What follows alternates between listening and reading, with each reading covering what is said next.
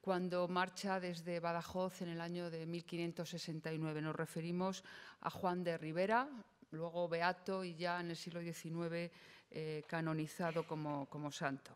Dejo la palabra a una persona que conoce muy bien eh, la figura eh, de Rivera, especialmente por, en su faceta como coleccionista creador del Colegio del Patriarca, importantísimo centro espiritual y formativo de la Valencia de su tiempo, y que además es el jefe, eh, nuestro eh, eh, director adjunto para temas de conservación e investigación y durante muchísimos años muy querido compañero. Así que, bueno, pues dejo la palabra ya a Miguel Falomir, cuyo extraordinario currículum muy resumido también tienen en el anexo, así que no voy a, sonrojarle con la lectura del mismo. Muchas gracias. Bueno, muchas gracias. Eh, supongo que seguimos siendo colegas, más allá de que aún no lo ocupe circunstancialmente pues desempeñar este, este puesto. Bueno, muchas gracias eh, Leticia y enhorabuena también por la exposición y gracias a todos ustedes por estar aquí hoy. Como eh, se ha dicho ya un par de veces, el tema de mi intervención será San Juan de Rivera y la pintura. Eh, probablemente no haga falta esta explicación, pero sí esta aclaración, pero me gustaría empezar con ella. Y es que aunque Juan de Rivera, como ha señalado ya Leticia, pues fue probablemente el patrono más importante que tuvo Morales, mi intervención no se centra tanto en la relación entre ambos y versará, se decantará claramente más por el prelado que por el pintor, y hasta cierto punto es lógico que así fuera, pues los años en los que coincidieron, que fueron los del obispado pacense de Rivera, 1562, 1568, 69, tras ellos eh, ambos tuvieron como trayectorias bastante eh, distintas, tanto en lo vital como en lo profesional. Ya tendremos que aceptar la carrera eclesiástica también como profesional. Si para Morales estos años y los primeros de la década de 1570 fueron el momento álgido perdón, me había olvidado yo de... Fueron el momento álgido de su eh, carrera y, aunque viviría en 1586, pues la exposición muy juiciosamente ha decidido concluir eh, prácticamente con ellos. La carrera de Rivera eh, precisamente despegó a partir de 1568-69, cuando fue nombrado arzobispo de Valencia ciudad en la que moriría en el año 1611 tras detentar los más altos honores y responsabilidades, no solo religiosas, sino también políticas, incluyendo el virreinato. Tras, eh, por su larga duración, estuvo 42 años al frente del arzobispado valenciano y porque fue en Valencia donde su patronazgo artístico alcanzó su culminación principal, aunque no únicamente en el llamado Colegio del Patriarca, del que tenéis aquí algunas imágenes, una de las fundaciones religiosas más interesantes de la España de fines del siglo XVI y que además, pues, como muchos de ustedes bien saben, tiene una estrechísima relación con el Museo del Prado, pues en él se albergaron algunas de sus joyas durante la Guerra Civil. Bueno, pues por todas estas razones mi intervención se centrará sobre todo en esos años valencianos del 69 a 1611. Pero antes de llegar a esta fecha de 1569, pues permítanme una breve aproximación al Rivera anterior a sus años valencianos. Algo se ha dicho en la anterior intervención, pero me extenderé tampoco mucho más. Rivera nació en 1632 en Sevilla en un entorno social y cultural privilegiado. Hijo ilegítimo, pero muy rápidamente naturalizado, de Pereafán de Rivera, duque de Alcalá, marqués de Tarifa y virrey de Cataluña y Nápoles. Y este último elemento es importante. Su infancia transcurrió, perdón, este es eh, Perafán de Rivera, el padre de Rivera, su infancia transcurrió en dos residencias sevillanas pioneras en la adopción de modelos italianos. La Casa de los Pinelo, que es la que tienen en el ángulo superior izquierdo, a la que pertenecía su madre, que era una noble de la familia de los Pinelo, y la famosísima Casa de Pilatos, que es lo que tenéis eh, abajo en el ángulo inferior izquierdo. Y os pongo una portada que está fechada en 1528, por lo tanto, anteceden cuatro años al nacimiento del patriarca Rivera. La transformación de la Casa de Pilatos en lo que es uno de los más interesantes palacios a la italiana de eh, la península ibérica fue responsabilidad del padre de Rivera, de Perafán, un apasionado coleccionista de antigüedades y propietario también de distintas pinturas, sobre todo flamencas. Estos dos elementos son importantes, porque aunque no me detenga en ellos eh, en la parte dedicada a su hijo, pues están presentes sin duda en su mecenazgo. Y quien quiera, quien vaya al colegio del patriarca, pues podrá darse buena cuenta de ello. Rivera abandonó pronto Sevilla con dirección a Salamanca, en cuya universidad fue estudiante primero y después profesor. Sus años salmantinos se extienden, grosso modo, entre 1544 y 1562. Nada sabemos sobre su relación con las artes entonces, aunque es posible que ya mostrara cierto interés por la pintura si aceptamos como suyo, como a veces se dice, este dibujo de San Jerónimo que aparece en sus apuntes universitarios. Lo que sí sabemos es que fueron eh, años decisivos en su formación teológica y espiritual y que debieron serlo también en su concepción de la imagen religiosa. Rivera fue diluyendo poco a poco sus tempranas simpatías por el erasmismo en una religiosidad radical alentada por los grandes místicos hispanos de la época como San Juan de la Cruz, su maestro espiritual, Santa Teresa, a quien conoció, o Fray Luis de Granada, con quien mantuvo una intensa correspondencia. Estos nombres nos sitúan ante una religiosidad profundamente interior que admitía la imagen devota como estímulo empático para la fe, como ayuda para el ejercicio del mirar interior en palabras de San Juan de Ávila. Una religiosidad que auspiciaba imágenes de gran concentración icónica que, despojadas de elementos indecorosos o accesorios, promovieran la reciprocidad entre el devoto y el objeto de devoción. Tras su elevación al obispado de Badajoz en 1562, Rivera encontró en Luis de Morales al pintor capaz de plasmar esa concepción de la imagen religiosa. Varias obras de la exposición dan fe de ello y también de lo que debió ser una relación muy estrecha entre pintor y prelado, quien debió suministrar instrucciones muy precisas a Morales de qué era aquello de lo que deseaba. Solo así se entiende una obra tan excepcional en el panorama pictórico español del 500 como el tríptico con el juicio del alma de Juan de Rivera, que tienen en la exposición.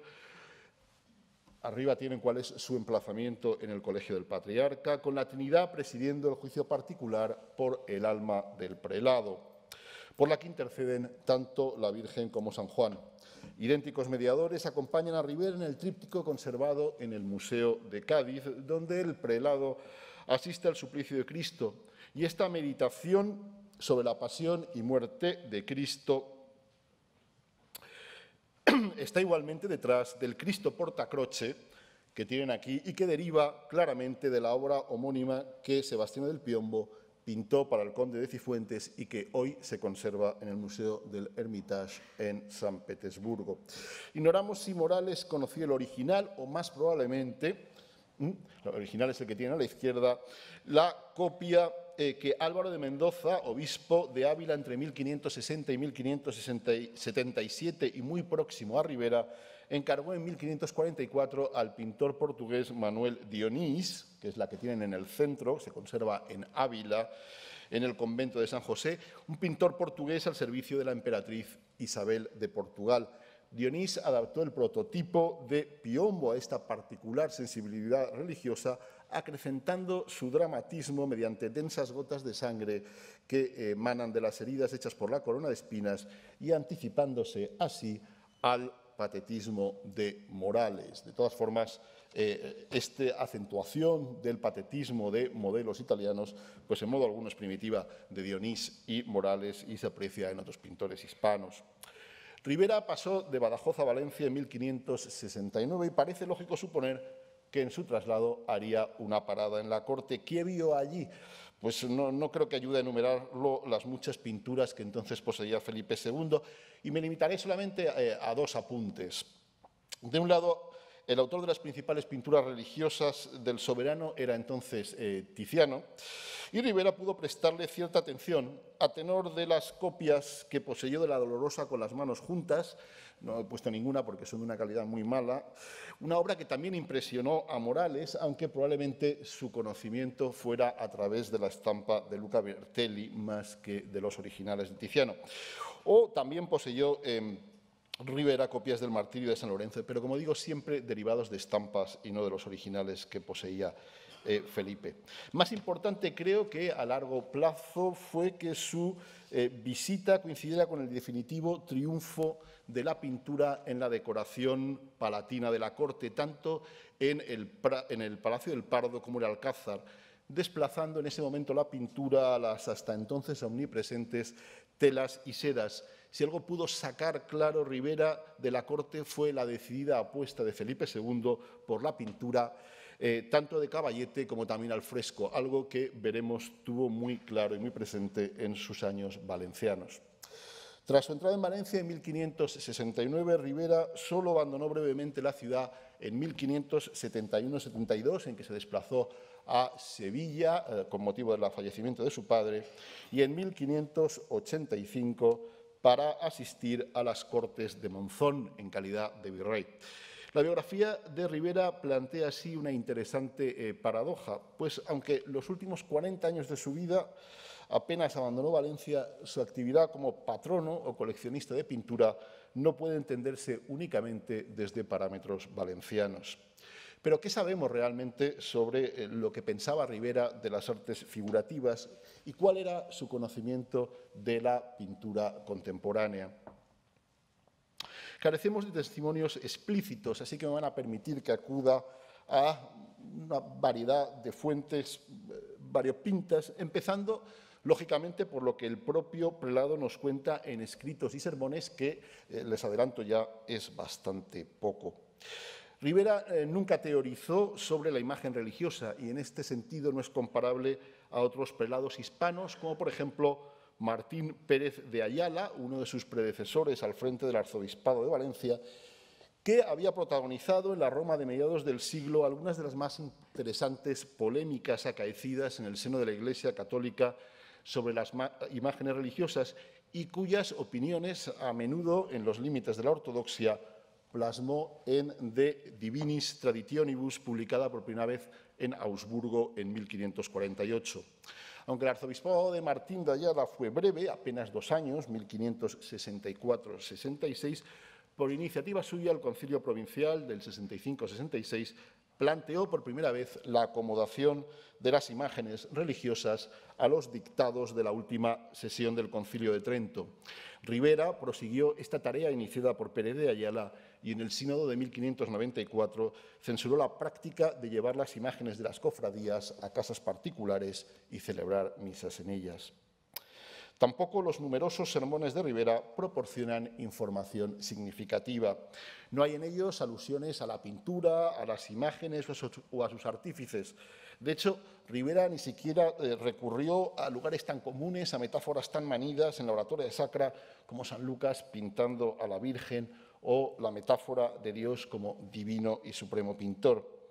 Y aunque sea cierto que los eh, sermones eh, conservados llegan solo a 1591 y por lo tanto anteceden a lo que fueron sus años más intensos como patrón de pintura, pues la ausencia no deja de ser significativa.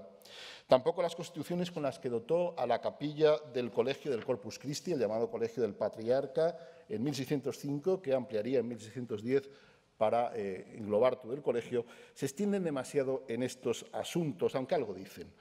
Eh, además de enfatizar el carácter de reliquia de las dos imágenes más destacadas del recinto, la copia de la Virgen de la Antigua a la izquierda y sobre todo el Cristo del altar mayor, versan principalmente, digo, estas constituciones sobre cómo deben mostrarse estas imágenes, sin, entrar nunca en cuestiones iconográficas o de lo que podríamos llamar estilo.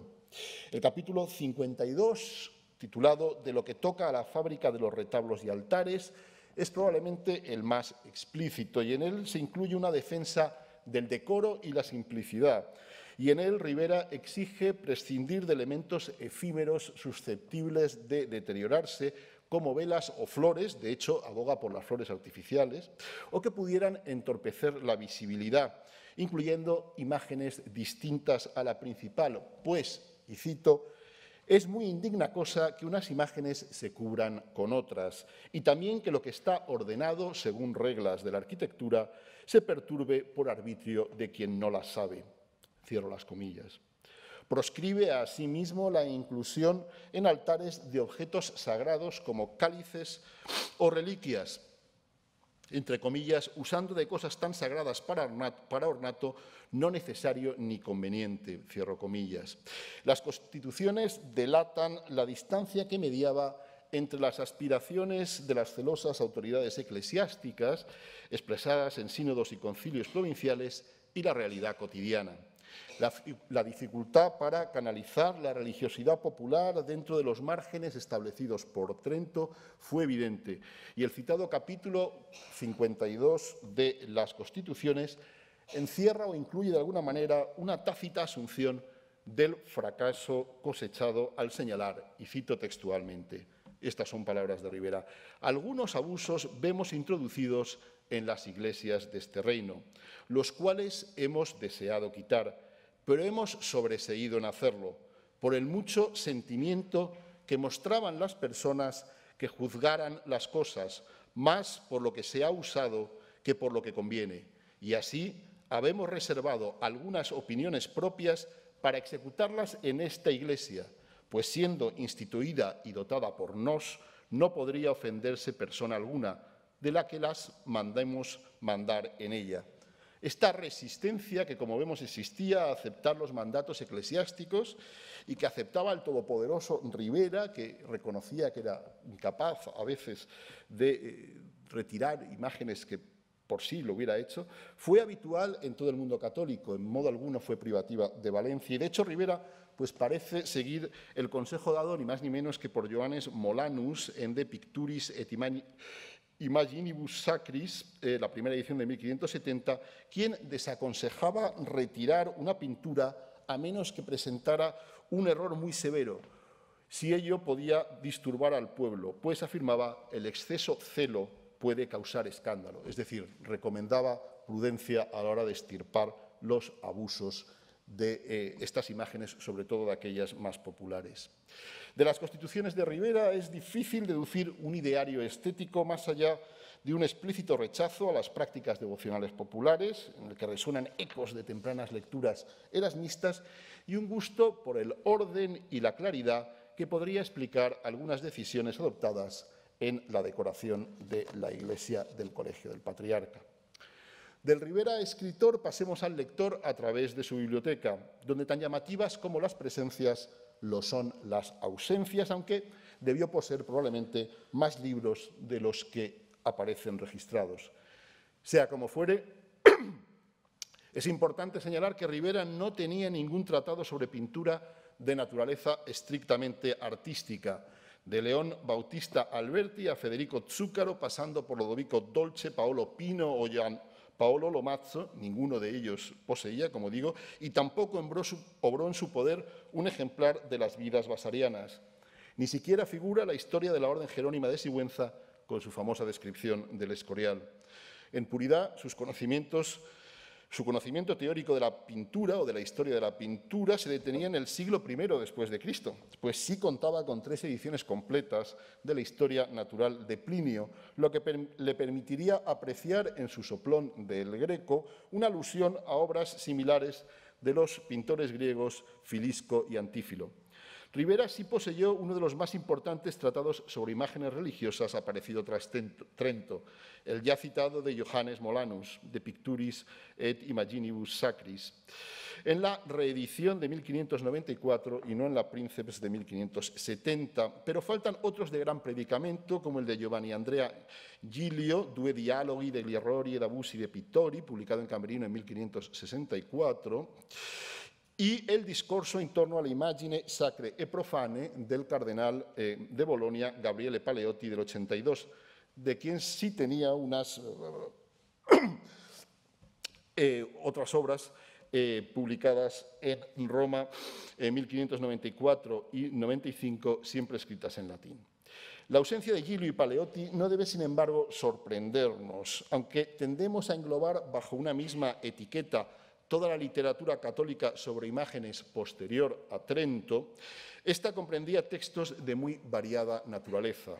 Los de Giglio y Paleotti, inicialmente escritos en italiano, estaban destinados preferentemente a pintores. De hecho, Scavizzi calificó el discurso de Paleotti de, entre comillas, catecismo para pintores, y no a eclesiásticos como Rivera, quien sí mostró interés por textos de mayor fuste teológico sobre cuestiones litúrgicas, siempre redactados en latín y que solían incluir secciones dedicadas a las imágenes sacras, como el ya citado de Martín Pérez de Ayala, el del jesuita conquense Gabriel Vázquez, de Cultu Adorationis, publicado en Alcalá de Henares en el 94, o el de Ritibus Ecclesiae Catholicae Libre 3 del francés Giovanni Stefani Duranti obras que normalmente pues, mm, los historiadores del arte no tomamos en consideración cuando abordamos estos temas.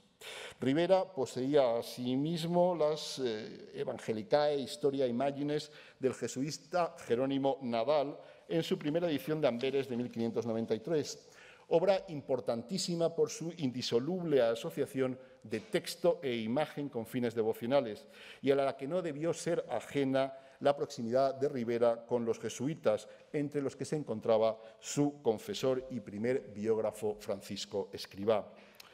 Finalmente, destaca la presencia en la biblioteca de numerosas obras de variada naturaleza, profusamente ilustradas, que delatan la familiaridad de Rivera con la cultura visual de su tiempo. Títulos que abordan materias tan dispares como la emblemática, la genealogía, la arqueología, la metalurgia, la geografía, la zoología o la botánica y cuya relación con las aficiones cultivadas por Rivera en la famosa huerta de Alboraya y con los cuadros que allí poseyó fue ya apuntada por Fernando Benito. Esta dimensión de Rivera suele despacharse sumariamente apelando a un genérico coleccionismo manierista, sin embargo, caben otras interpretaciones, otras aproximaciones ligadas al interés por la naturaleza como manifestación de la obra de Dios, de la que participaban contemporáneos suyos como el arzobispo de Milán, Federico Borromeo. Como apunté, Rivera no fue un teórico de la imagen religiosa, pero durante su largo arzobispado sí se publicaron obras que abordaron esta cuestión con mayor o menor extensión. Todas ostentan la, preceptiva autorización de Rivera y en algunas sus, autores confiesan haberlas escrito a instancia suya. Señalaré brevemente tres en estricto orden cronológico. Fray Felipe de Guimerán, breve historia de la Orden de Nuestra Señora de la Merced, publicada en Valencia en el 91. Jaime Prades, Historia de la adoración y uso de las santas imágenes y de la imagen de la fuente de la salud, publicada en la misma ciudad seis años después, en 1597, y de Antonio Sobrino, Vida espiritual y perfección cristiana, del año 1617. Ninguna sobresale precisamente por su originalidad y su rasgo más distintivo probablemente sea su carácter virulentamente antiprotestante y en menor medida antimusulmán, pero también su beligerancia contra cualquier disidencia real o potencial dentro del campo católico, un aspecto secundario tanto en Molanus, Gilio o Paleotti, más centrados en señalar defectos y proporcionar soluciones. Guimerán, por ejemplo, dedicó su prólogo a imágenes rescatadas de herejes y musulmanes. Prades confesaba haber escrito su libro contra los herejes de Francia, Alemania, reyes y reinos de Inglaterra, y Sobrino recordaba que Rivera le encargó el suyo en 1610 como refutación a los llamados perfectistas flamencos y alentado por la visión del alma del carmelita descalzo, Fray Jerónimo Gracián, de la Madre de Dios, publicado en Bruselas en 1609. Como veremos, esta militancia antiprotestante aflora por doquier en la decoración del Colegio del Patriarca del Corpus Christi, refutación monumental a los ataques contra los dogmas católicos, presidido en su altar mayor por un Cristo rescatado a los protestantes, al que acompañaban altares dedicados a la Virgen, la transustanciación, el purgatorio y los más diversos santos.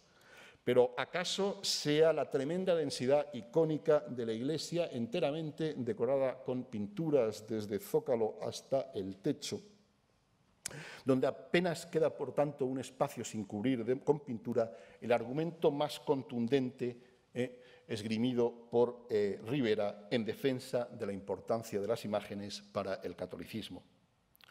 La fuerte personalidad de Rivera y la larga duración de su arzobispado, ya he dicho que son 42 años, lo han convertido en la figura clave de la contrarreforma en Valencia, tanto en el terreno eclesiástico espiritual como en el artístico. Y así fue siempre y cuando tomemos tal afirmación con prudencia y no pensemos en una censura radical, perdón, en una cesura radical en la vida religiosa y artística valenciana antes y después de Rivera.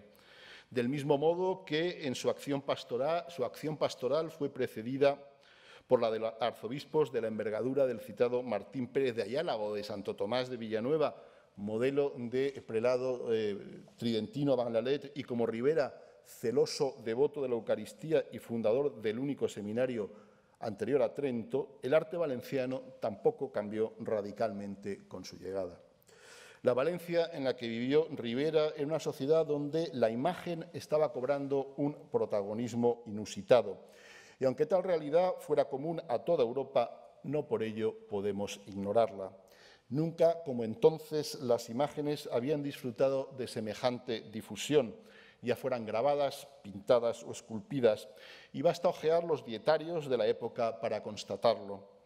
La manifestación más significativa de este fenómeno fue la irrupción masiva de la pintura en ámbitos domésticos y representativos, lo que se tradujo en un aumento del número de talleres pictóricos, en la importación masiva de pinturas e incluso en la proliferación de aficionados que hacían la competencia a los profesionales, como denunciaron los integrantes del Colegio de Pintores de 1607.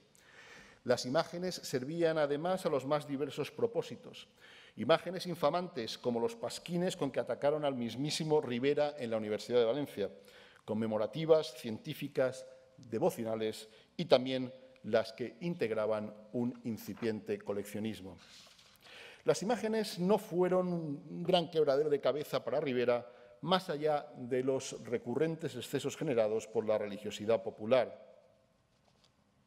consistentes más en el uso dado a las imágenes que en las imágenes en sí. Aunque las imágenes erróneas de haberlas se retirarían, no debieron abundar, pues no hay rastro de ellas en la literatura o la documentación de la época. Y en realidad la pintura valenciana anterior y posterior a Rivera se mantuvo dentro del decoro y apegada a la ortodoxia iconográfica.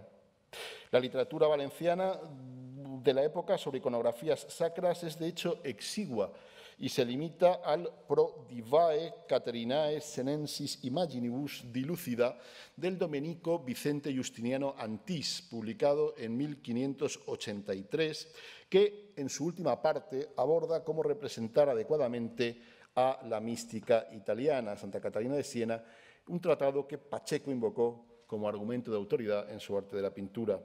Es no obstante de lamentar que en 1591 ardiera en el incendio de la parroquia de Santa Catalina la copia que allí había al óleo del juicio final de Miguel Ángel en la capilla Sistina, verdadera piedra de toque para cualquier teórico o eclesiástico preocupado por las imágenes sagradas aunque ignoramos si la copia reproducía el fresco en su estado original o, más probablemente, tras la intervención de Volterra, no consta que generase polémica en Valencia. Antes, al contrario, su desaparición fue lamentada por Porcar en su dietario.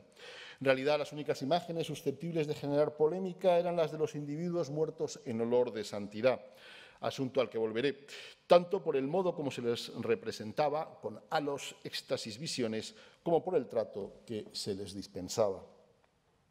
El esfuerzo de Rivera, este sevillano procedente de Badajoz, por integrarse en la sociedad valenciana fue ímprobo y legalmente culminó el 24 de octubre de 1591, cuando solicitó su naturalización como hijo y residente de Valencia. Rivera supo insertarse igualmente en la religiosidad valenciana, abrazando y promoviendo sus devociones. Una de las estrategias seguidas para ello fue la cerrada defensa de los santos valencianos pasados y, esto es interesante, futuros. Rivera creía firmemente en el papel intercesor de los santos, pero su idea de santidad no se limitaba a tiempos pretéritos, y como relató su primer eh, biógrafo, veneró y honró a los santos, y cito entre comillas, no solo a los que están ya gozando de Dios en el cielo, sino a los que viven aún y andan entre nosotros y conversan. Cierro comillas. Rivera fue además muy consciente de la importancia del santoral local como encarnación de las tradiciones y aspiraciones de una comunidad. Se sumaba así a un sentimiento muy extendido entonces en Valencia que aunaba coreografía y geografía, la historia de la ciudad con su vida espiritual y que culminaría en las décadas de la historia general de Valencia de Gaspar Escolano, aparecidas en 1610 y 1611, primera y segunda parte, que incluía un elenco de los grandes nombres que Valencia había dado al mundo, encabezada precisamente por sus santos. El papel integrador de las devociones locales y su enraizamiento en la historia ciudadana está admirablemente reflejado en los frescos de la iglesia del colegio, del patriarca, particularmente en los protagonizados por San Vicente Ferrer, santo valenciano, en el transepto. Uno representa la solemne recepción de su reliquia el 16 de julio de 1600, en una Valencia ideal unida por la fe y solemnemente jerarquizada. El otro, el milagro que operó la citada reliquia en un espacio tan emblemático y me atrevería a decir tan reconocido, tan reconocible por quien lo viera, como la Sala Dorada de la ciudad de Valencia, el ámbito cívico más importante de la ciudad. Ambas escenas, pobladas de retratos de contemporáneos de variada extracción social, poseían un innegable valor histórico al documentar no solo la veracidad de los hechos narrados, sino también el privilegiado lugar, Valencia, en que acaecieron. Rivera acompañó estos frescos con otros celebrando la vida y muerte de los dos santos valencianos por excelencia, San Vicente Mártir y el ya citado Vicente Ferrer. A este, el de mayor arraigo popular, dedicó además un altar lateral, la aparición de Cristo, a San Vicente Ferrer, encargado a Francisco Ribalta. Pero junto a los santos preceptivamente canonizados, Valencia podía esgrimir los nombres de otros muchos recientemente fallecidos en olor de santidad, cuya beatificación propugnaban sus devotos, e individuos que, no por casualidad, pertenecían todos a órdenes religiosas. No hace falta señalar los beneficios espirituales, pero también materiales, que reportaba la posesión del cuerpo de un santo, como tampoco la competencia que se estableció entre las órdenes por acrecentar sus panteones de santos, con los dominicos siempre a la cabeza en Valencia por el prestigio que reportaba su vinculación con San Vicente Ferrer. Fueron numerosos los frailes y monjes que habitaron en Valencia durante la segunda mitad del siglo XVI que con mayor o menor prontitud, fueron elevados, fueron oficialmente declarados venerables, beatos e incluso santos.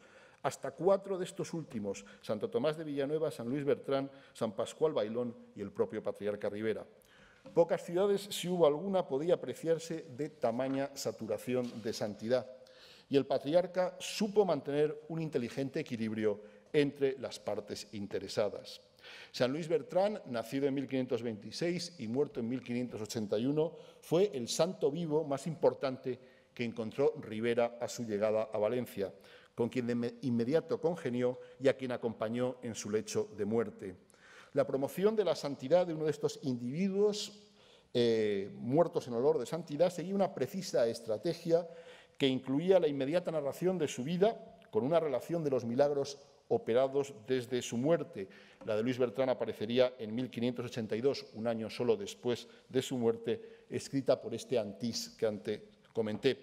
Y aparte de la publicación de esta vida eh, y milagros, una campaña de difusión de su imagen, pues la imagen no solo celebraba al fallecido, sino que se convertía a su vez en un instrumento para hacer milagros, es decir, cuántos de los milagros se habían operado gracias a la aparición de una imagen del santo o invocando a la imagen de ese santo. El mismo Antís, el biógrafo de eh, San Luis Bertrán, así lo recoge al señalar cómo, estando el futuro San Luis Bertrán orando en la celda de San Vicente Ferrer, delante de su imagen, se arrojó al suelo para besarle los pies y el santo se abaxó, eh, se bajó de la imagen y le levantó de tierra. De Luis Bertrán, cuenta este mismo Antís, fue sacado un retrato en el lecho de muerte que serviría de modelo a docenas de lienzos firmados por Juan de, Sariñena y Francisco Ribalta, muchos, muchísimos de ellos encargados por el propio patriarca Rivera, o San Juan de Rivera, quien habilitó un espacio para su culto en la iglesia del colegio uniendo el retrato del santo con una reliquia, el crucifijo de terracota que supuestamente le había hablado. Ahí tenéis, bueno, la parte de esto, mientras que la imagen de San Luis está pintada, el crucifijo no es el crucifijo original en terracota que perteneció a San Luis y que supuestamente pues, le había eh, hablado. El patriarca se involucró especialmente en el patrocinio de algunos de estos individuos. Eh, muchos de los cuales pues, no han llegado precisamente a los altares. Uno de ellos fue Sor Margarita Agulló, una beata de la tercera orden franciscana, fallecida en 1600, y a quien veis aquí pues, retratada por, em, retratada por eh, Sariñena, o el carmelita Francisco eh, del Niño, perdón, o el ermitaño Pedro Muñoz, que es el que tenéis a la izquierda, pero también el carmelita Francisco del Niño Jesús, ¿eh? muerto en 1604. Rivera no solo hizo eh, acopio de sus retratos, sino también, esto es muy interesante, de sus cuerpos.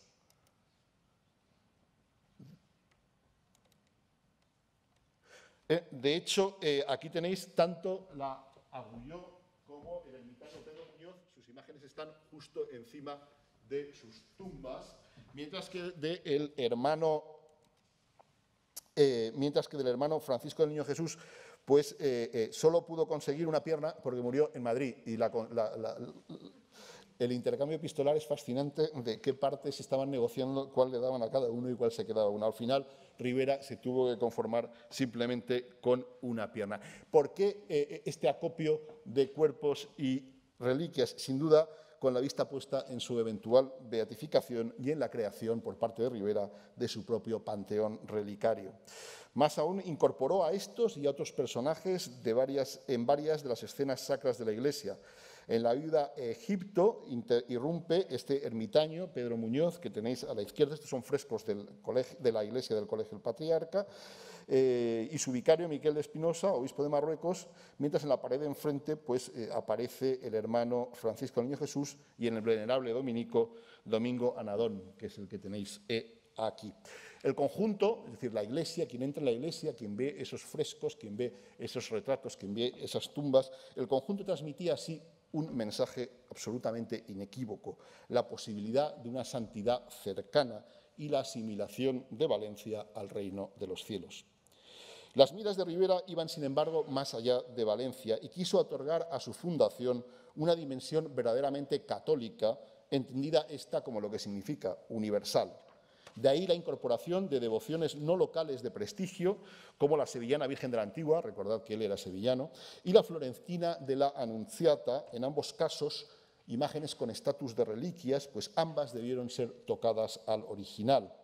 También de imágenes arqueopoéticas es decir, no hechas por manos humanas, procedentes de tierras de herejes como el famoso Cristo del altar mayor, entre comillas, como dice en sus constituciones, de admirable fábrica tal que aparecer de hombres peritos en el arte, así naturales de España como extranjeros, es la más excelente imagen y figura que se halla en España, ni en otra parte de la cristiandad, y la cabeza y rostro se juzga por cosa hecha por manos de ángeles, y así fue hallada de milagro. Esta era la típica imagen que había sido mutilada, había sido profanada por protestantes y que eh, Rivera rescató, trajo y le otorgó este estatus absolutamente eh, milagroso. Probablemente la incorporación más significativa fue la del cuerpo eh, de San Mauro, porque se trató de un cuerpo entero, ¿eh? de un santo de la iglesia primitiva, procedente directamente de Roma, pero también porque eh, constituye el mejor ejemplo de esa simbiosis entre lo local y lo universal que caracterizó el pensamiento de Rivera. Al convertirse este San Mauro, que no tenía ninguna vinculación con Valencia, el 7 de junio del 31 de 1631, en copatrono de la ciudad de Valencia. Bueno, hemos visto varias de las muchas imágenes religiosas reunidas o alentadas por Rivera y cómo se ajustaban a las funciones que la Iglesia tradicionalmente les otorgaba, incluyendo la nueva dimensión documental que le agregó la contrarreforma. Pero, ¿y el arte? Conviene desterrar varios lugares comunes sobre la pintura llamada de la contrarreforma. En primer lugar, es el de la existencia de un estilo tridentino, pues el concilio se limitó a dar normas generales que obviaban cuestiones que podríamos llamar de estilo. El resultado fue una amplia variedad de respuestas, tan ajustadas todas a las nuevas exigencias del decoro como estéticamente distantes entre sí. El segundo de estos lugares comunes que conviene desterrar es el de la desvalorización estética de la denominada pintura reformada, como si fueran incompatibles decoro y goce estético. Y es posible que en algún caso extremo así fuera, pero el ideal preconizado por la Iglesia no era ese, sino el de una pintura a la vez docta y devota, es decir, capaz de satisfacer por igual las exigencias devocionales y estéticas. Rivera y su fundación, el Colegio del Patriarca, ofrecen sin duda una atalaya privilegiada para abordar estas cuestiones. Un repaso a la pintura reunida por Rivera delata, en primer lugar, una nítida decantación por la pintura extranjera y dentro de esta una clara decantación por Italia en detrimento de Flandes como suministradora de pintura sacra, fenómenos ambos habituales en la España de fines del siglo XVI con el Escorial como ejemplo señero. La pintura italiana proporciona un muestrario bastante amplio que reúne representantes de la llamada contramaniera, Federico Zuccaro, Marcello Venusti, Vincenzo Conti o Giovanni Estradanus, junto a una completa representación de los distintos modos de maniera devota en boga en Italia en las décadas de 1580 y 90. Scipione Pulzone en Roma, Alexandro Alori y Giovanni Bizzelli en Florencia, Francisco Barocci en Urbino y Antonio y Vincenzo Campi, esto es eh, Antonio Campi, en Milán. Solo se echa eh, en falta alguna obra de impronta carrachiesca procedente de Bolonia. A ellas podrían y deberían añadirse las obras del Greco que poseyó. Lo que me interesa destacar es que todas estas pinturas son tan pulcramente acordes a las exigencias del decoro demandadas por la Iglesia como formalmente distintas entre sí. ¿Qué tienen en común Barocci y Pulzone, los Campi y Estradanus o el Greco o Zúcaro? Nada. Sin embargo, todas ellas se ajustan a estas demandas de decoro exigidas por la Iglesia tras Trento. Los nombres de estos pintores nos hablan de un Rivera al tanto de las últimas tendencias en Italia, incluso en sus gustos por los maestros antiguos.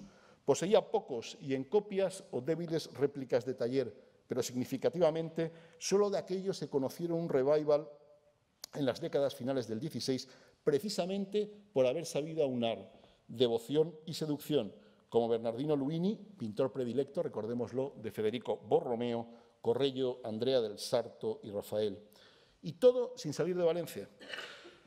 Rivera compraba obras extranjeras a marchantes activos en Valencia y Sevilla, pero las más importantes se las proporcionaban los agentes que el Cabildo Catedralicio tenía permanentemente ante el Papa y el Rey. Apenas sabemos de estos agentes, en el mejor de los casos sus nombres, como el de Jerónimo Asorís, el más importante de todos en Roma. E ignoramos igualmente qué instrucciones recibían de Rivera, más allá de las medidas en el caso de los cuadros destinados a altares. Por las razones antes enumeradas, por su confinamiento en Valencia y por su desconocimiento de la literatura artística más avanzada, Rivera no debía estar en condiciones de sugerir nombres y, de hecho, en la documentación incluso en sus inventarios los nombres brillan por su ausencia. Pero por las obras que recibió, parece evidente que demandó pinturas acordes con las últimas tendencias. De hecho, los agentes fueron eh, actualizando el estilo de las pinturas que remitían con el paso de los años, enviando en cada momento obras de pintores de vanguardia. De Roma, Zúcaro y Pulsone en la década de 1590 y Caravaggio, aunque fuera a través de una copia en la siguiente. E igual sucede con las procedentes del milanesado. Lo siento, creía que la tenía. Sí, Aquí tenéis la copia de Caravaggio. ¿Veis cómo va actualizando? Es decir, desde las primeras obras que manda de Roma, que son cuadros como el de Marcello Venusti, pues en cada momento lo que van mandando es lo último que está en boga, incluyendo pues incluso una copia de Caravaggio. Igual ocurre en Milán, es decir, nada se parece las obras de los Campi eh, primeras, las obras de Morazzone que mandaría al final. Y de hecho, en algún momento eh, se mostraron eh, realmente eh, osados, ¿no? y realmente estos agentes demostraron una encomiable iniciativa, como fue el caso de cuando encargaron a este martirio de San Mauro, recordad que es el santo cuyo cuerpo había traído el patriarca a, a Valencia, pues encargaron este martirio de San Mauro a Giovanni Baglione, eh, una obra de 1600 pintada cuando Baglione, pues, pues, pues, pues prácticamente, no voy a decir que era un desconocido, pero estaba en sus inicios. Es decir, que demostraron este, este gusto, esta querencia por lo que estaba eh, en cada momento en moda, de moda. Una entrada del dietario de Mosén Juan Porcar, un sacerdote valenciano, ilustra bien esta ansia de novedades este deseo de estar adecuado, estar a la última por parte de Rivera. Cuenta Porcar que el 2 de marzo de 1599 el patriarca mandó retirar a instancias del nuncio Fernando Niño de Guevara las, cortinas que cubrían los altares de la iglesia de San Martín, porque, como le había dicho el, el nuncio Fernando Niño de Guevara, en Roma así se hacía, es decir, en Roma ya no se cubrían los altares con cortinas. Rivera quiso tener una iglesia decorada como se hacía en Roma, con las paredes cubiertas de frescos y obras representativas de los pintores que allí trabajaban. Y eso, fue lo que es, eso es lo que es el patriarca. La mayoría de pinturas proceden, de hecho, de Roma. Incluso las de pintores activos en Florencia, como Bizzelli o Estradanus, llegaron desde Roma. Más difícil es descubrir los criterios seguidos por los agentes del patriarca para elegir autores.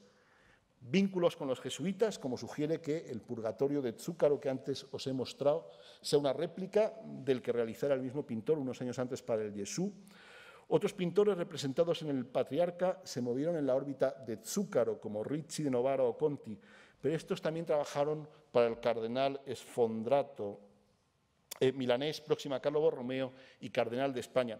Como digo, son simplemente hipótesis, pero hoy por hoy, pues por desgracia, es imposible ir más allá de ellas.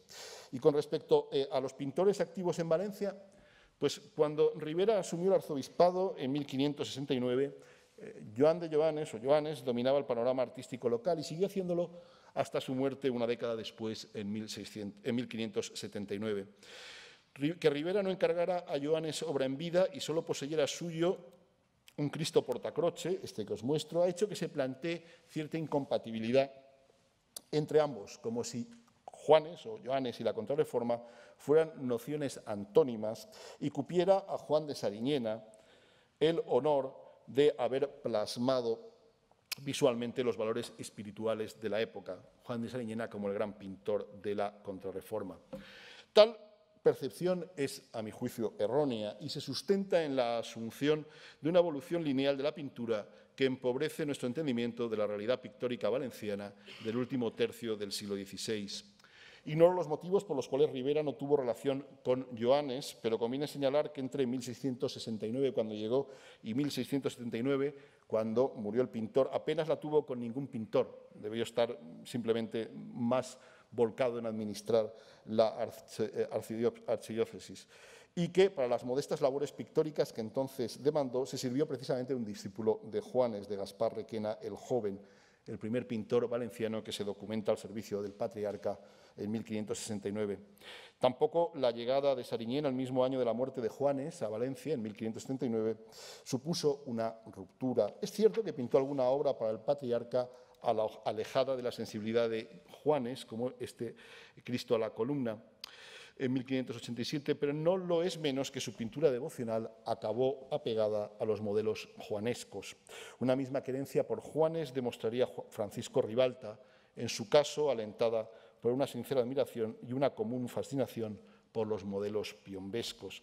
En realidad era difícil para cualquier pintor activo en Valencia entre 1569 y 1611 sustraerse al influjo de Juanes, pues fueron estas las décadas en que su figura empezó a adquirir una dimensión mítica que traspasaba el estricto medio artístico y que culminaría en 1610 en las citadas décadas de Escolano, cuando lo incluyó entre los grandes hombres que la ciudad había dado al mundo.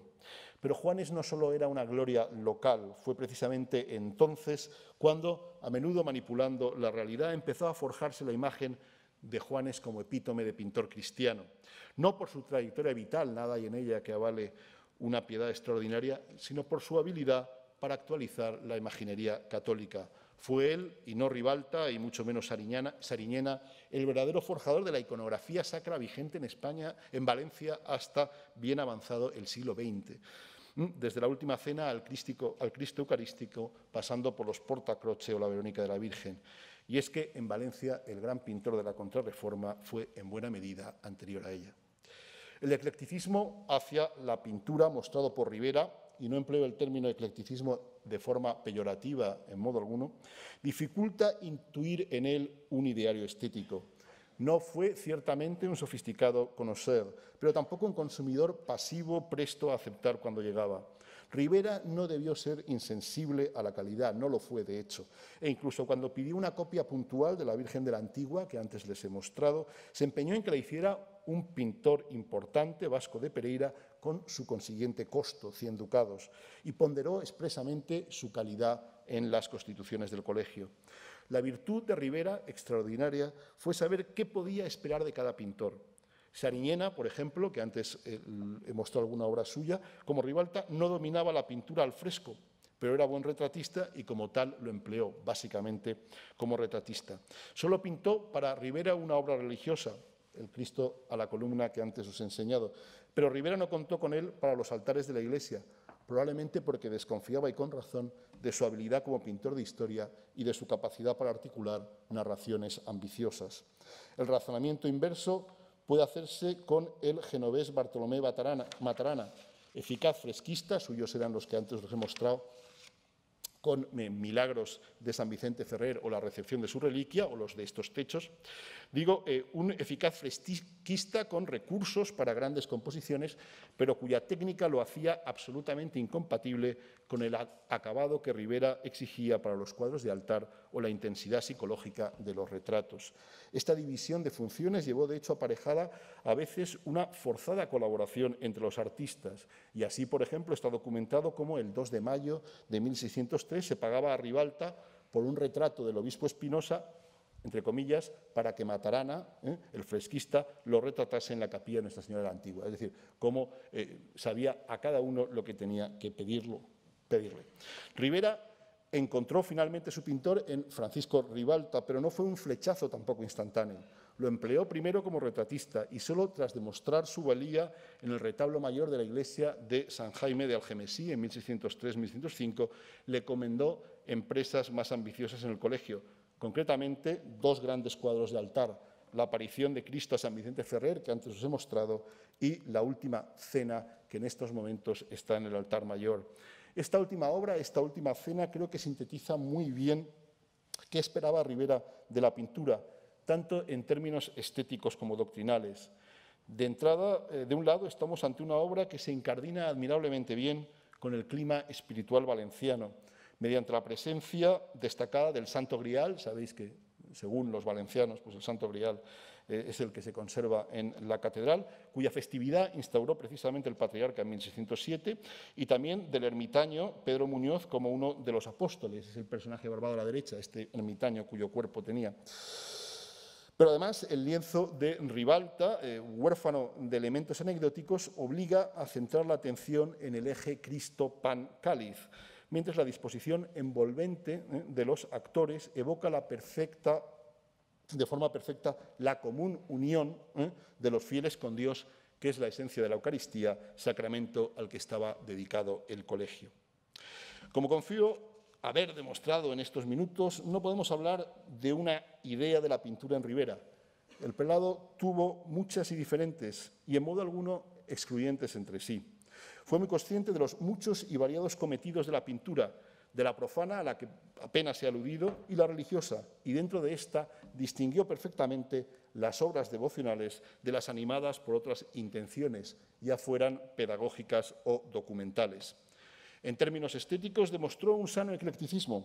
Y acaso el único elemento de continuidad a través de toda su carrera se localice en la pintura devocional, pues tanto en Morales como en Juanes y finalmente en Rivera encontramos esa misma raíz piombesca, aunque cada uno la reinterpretará de distinto modo. Quiero pensar que Rivera, que llegó a encargar a Ribalta copias puntuales de composiciones de Piombo, entonces en Valencia, como esta que tenéis aquí, fue consciente de ese elemento de continuidad desde Morales hasta Ribalta. Y para terminar, permítanme una última reflexión que me parece pertinente dado el curso en el que estamos. Rivera encontró en Morales al pintor adecuado para plasmar en imágenes sus aspiraciones religiosas durante sus años pacenses. Es evidente que esas obras continuaron agradándole y prueba de ello es el lugar privilegiado que otorgó en el Colegio del Patriarca al tríptico con el juicio del alma. Pero no debió pensar tampoco en Morales como alguien imprescindible. De haberlo hecho, lo habría invitado a acompañarle a Valencia, como hizo con otros muchos eclesiásticos, o le habría seguido encargando obras desde Valencia y, de hecho, hasta el final de su vida eh, se hizo traer pinturas de Sevilla.